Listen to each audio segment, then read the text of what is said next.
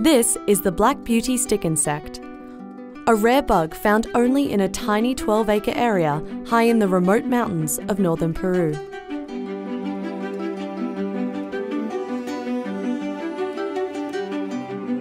Discovered in 2005, the black beauty stick insect has a velvet black body covered in small bristles.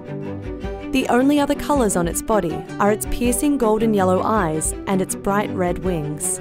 Not much is known about this species, but scientists have observed it to be most active at night, when its deep black coloration keeps it hidden from predators.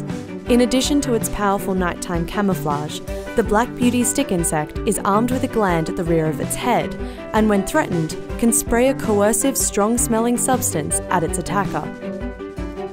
Because their natural habitat is so small, the black beauty stick insect's survival is precarious and because of its striking features, they have become a popular insect in the pet trade.